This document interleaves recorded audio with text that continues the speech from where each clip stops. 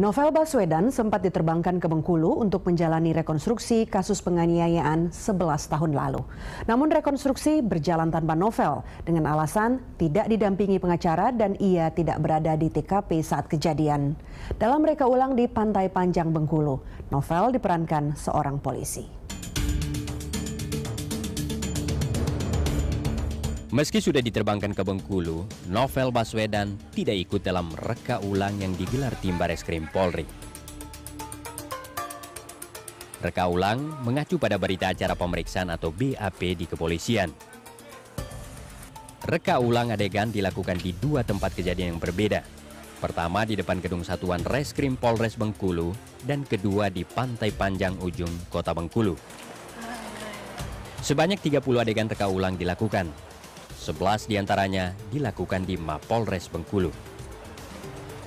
Peran Novel Baswedan yang menolak ikut rekonstruksi digantikan oleh polisi. Dalam adegan reka ulang, dua dari enam tersangka diperankan langsung oleh Erwansa Siregar dan Dedi Mulyadi. Keduanya adalah tersangka pencurian sarang walet. Sedang keempat lainnya diperankan polisi.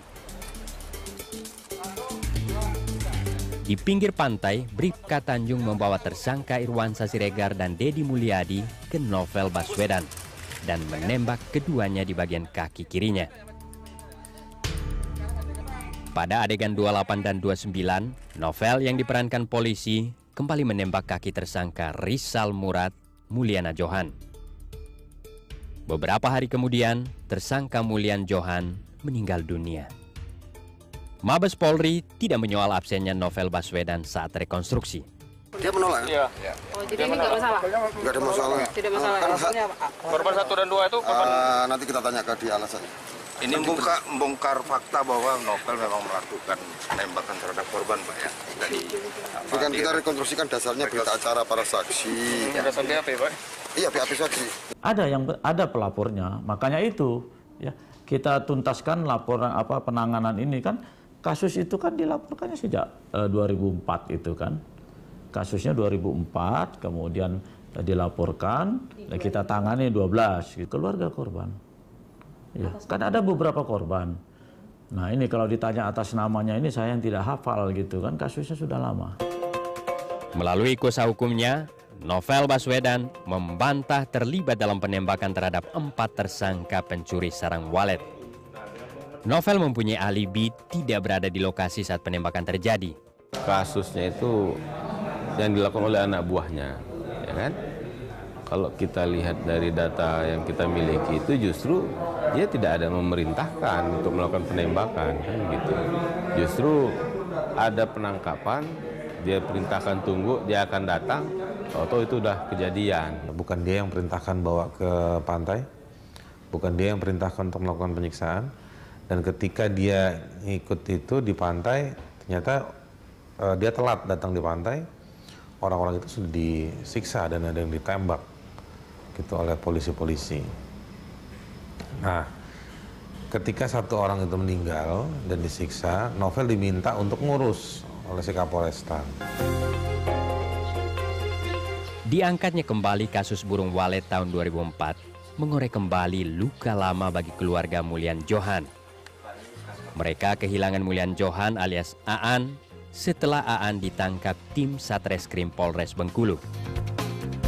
Sejak saat itu, keluarga Mulian Johan trauma dan tidak menuntut novel atas kematian Aan. Kami keluarga nggak punya reaksi apa-apa karena kami merasa kami keluarga sendiri masalah ini sudah selesai sebenarnya. Tapi kalau masalah ini mau mau dibuka lagi oleh pihak polisian itu hak mereka. Jadi kami minta dari pihak keluarga kami sendiri tidak mau terlibat dalam urusan kepolisian. Dan kami juga jangan dilibatkan lagi dalam urusan kepolisian. Novel Baswedan sendiri tetap menjabat Kasat Reskrim Polres Bengkulu hingga tahun 2006. Karir Novel bahkan semakin cemerlang di kepolisian. Pangkatnya naik menjadi Melati satu Komisaris Polisi dan dipromosikan menjadi penyidik KPK. Kiprah novel di KPK tak kalah cemerlang. Cucu pahlawan nasional AR Baswedan ini ikut serta menangani kasus-kasus besar. Salah satunya kasus dugaan korupsi di Korlantas Polri pada tahun 2012 yang menyeret Kepala Korlantas Irjen Pol Joko Susilo.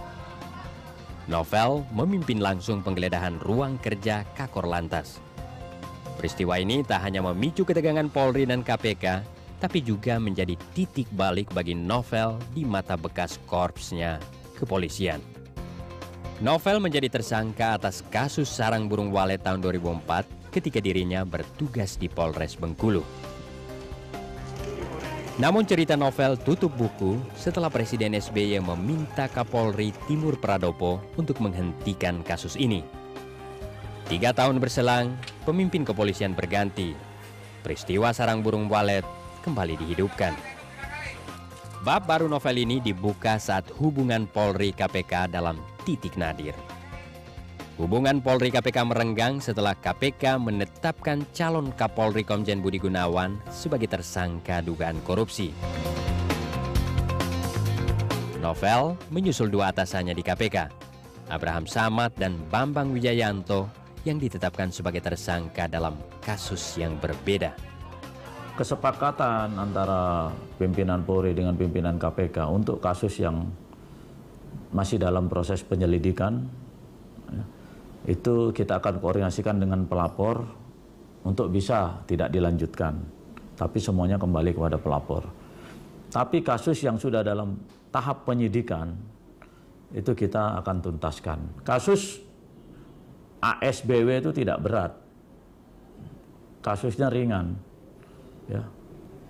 Apabila para pihak mau memahami kewajiban Nah itu, haknya kita berikan tapi kewajiban dipenuhi.